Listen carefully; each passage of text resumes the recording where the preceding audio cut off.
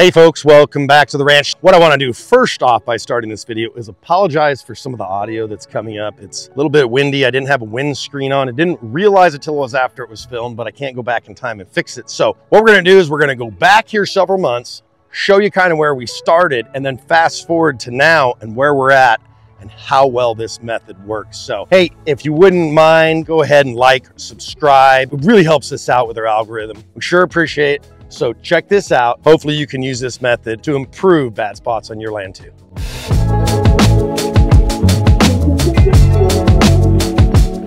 Wrestling in the hay because it smells fabulous. Play in the hay. So what we got here is uh, got a bunch of hay that we've hand spread, hand broadcast. Hey, no.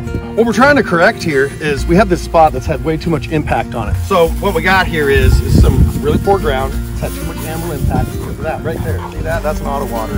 That is a frost-proof auto water, and I'm very, very blessed to own it. Thank you very much to the people that put that in before we purchased this farm.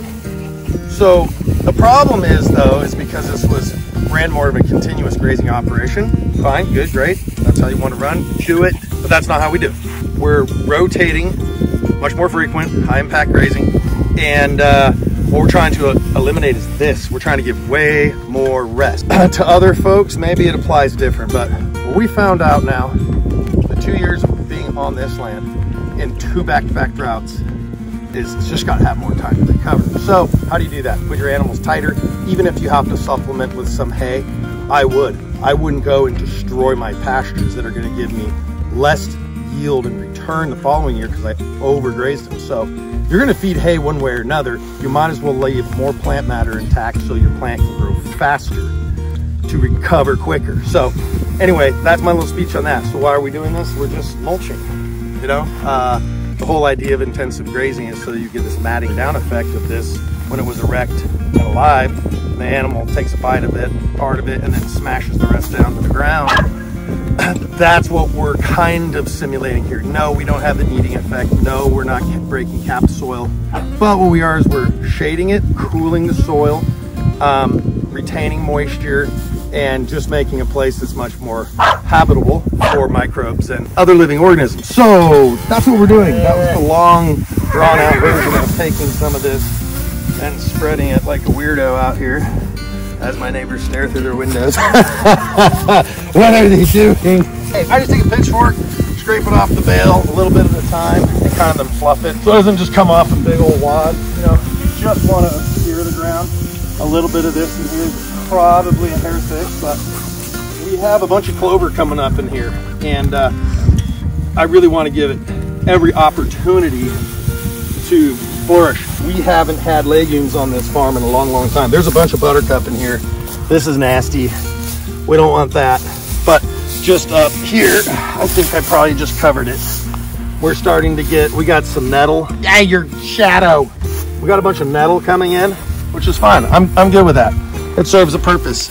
Um, then we got clover coming up. There's a little bit right here. My wife really likes her shadow right where you're trying to look. So anyway, just a few, but it's there's areas that it's extremely thick, like that little explosion there. So I, I'm, I want to save all my legumes. Oh my gosh. Uh, you know, instead of going and buying nitrogen fertilizer, let's have clover that comes in when it dies, it releases nitrogen to the, the surrounding plants. Um, awesome. There's Grayson having himself just the best eight-year-old life. Surprised he got his clothes on. He was actually had he was all the way down to his skinnies earlier and he was down there in the creek. What a goon. Look a little gray there, woman. Does he? She didn't say anything. She's afraid to try to roast me back on air. I'm just not as good as you are. I'm just meaner, apparently. That's where my boy Elliot gets it from. He's pretty sharp at the tongue. Mm. Yeah. Okay. Anyway, back to business. I want to touch on something real quick here. We're just going to kind of keep interrupting this video. This dam, you might have seen me already cover it in uh, mulch like this once with hay. when you put it down and then you're in a drought and nothing grows, uh, and then you put your cattle back in here, apparently they really, really like old hay. that's been spread out on the dam because they like ate it first. They came in here, mopped it up, and then went and grazed stockpile. So um, yeah, it got taken away. That was this fall. So we're putting it back on and uh, we're not going to let them on it until it's established. Don't forget, don't put your cattle on your, your mulching. They'll eat it. All right, guys, so here we are, fast forward to April 27th. Same year, this is the exact same spot that we spread all that hay. So let me flip you around here. I'm gonna show you. I think you're gonna see the results really do speak for themselves. I'm gonna try and keep some wind off the mic for you, but let's just look around here. This was all that non-vegetated, you know, it was pretty much just, oh, you all right over there, dog? Bo, he loves snacking on orchard grass. All the dogs do. Orchard grass, that's the favorite snack out here in the pasture for dogs. If you don't know what orchard grass is, this is it right here. This is some of it. It's beautiful, highly palatable, good protein, great forage for ruminants, and apparently also dogs. This thing almost didn't have a blade of anything on it this last summer. Got overgrazed, and it just never really did good anyway. It's poor soil, it's real gravelly. So here's some hay that we put down and unfortunately it's just a hair too thick. It's actually, you can see that critters have been just chewing it up. It's really starting to turn into a mulch, kind of fine. And uh, you can see how it's, look at the soil. This is really important. Let's get a good look at this. So gently I'm able to lift that soil. See how it's starting to clump together? Those are glomalin. That's coming from, it's coming from your fungus in your soil. And it starts giving your soil structure Plus you got earthworms down here. I don't really see any right now. Oh, there's a big old grub. Look at that guy. Look at that guy. Gnarly. He's big. I mean, next to my finger. And I got big old sausages. But this soil is normally highly compacted and just trash. Look at that. You can't do that around here. Look at that big old hole. What the hell is that? But it's starting to clump. You're looking for that cottage cheese texture. When you got that, you know you got something good. Okay, here we are. It's June 4th. We fast forwarded after we've spread all of this hay. This has all come up naturally. Come on over here and take a look at this. This was all in the seed banks. We have a ton of white clover. You can see we have hop clover. Now go ahead and look down here. You can see this is starting to vegetate. We've got a little Bermuda in here. It looks like there's a few crabgrasses coming in. Uh, obviously, we still have some buttercup, but this place was covered in buttercup. And what this is, is a low spot.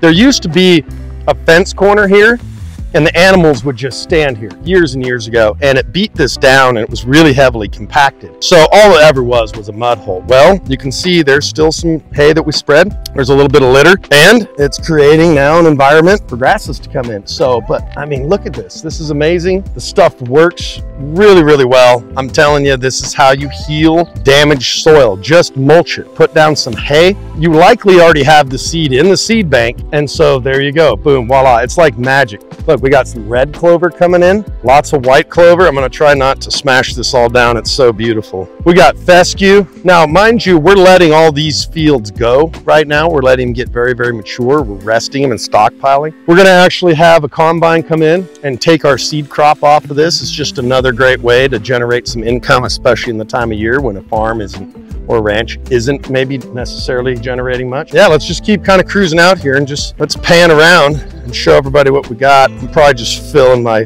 boots full of seed. I'm uh, shotgun right now. It's absolutely gorgeous, just absolutely gorgeous. It's all vegetated. You know, there's a few spots you can look in here. They're still working on closing in, like right here, right? But there's there's grass starting.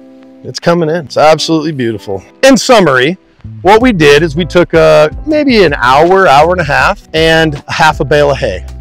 We went and spread it by hand, and that's it.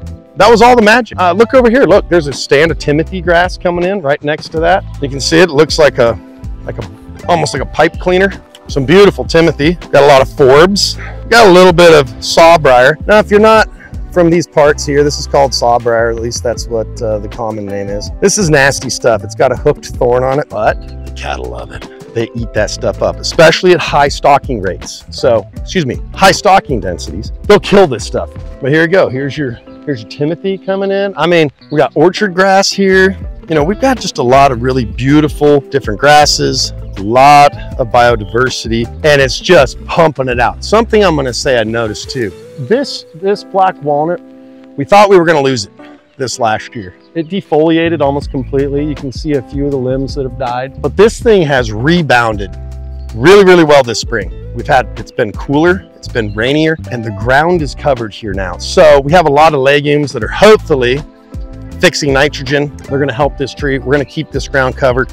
We're never gonna overgraze this again. We're never gonna set back lanes to waters on this, on this ranch ever again. We're always gonna be running mobile water. This is a really great method to take and heal your soil, guys. If you got a bad spot, just put some hay on it. It is that simple. There's nothing more magical about it than that. It just, and rest, rest, right? Cover your land and rest it, and you'll have a diverse, beautiful sward come in and make your land more productive. All right, so that's it. That's the whole magic right there. Put some hay on your ground, spread it around, not too thick to allow germination. You're gonna probably have seed in your seed bank. It's gonna come through, give it plenty of rest. It'll heal up. Hey, if you guys like this video, please like, share, subscribe, any of those things. It really helps us out with the algorithm. And uh, if you wanna check out some of our merch, we got a link down below.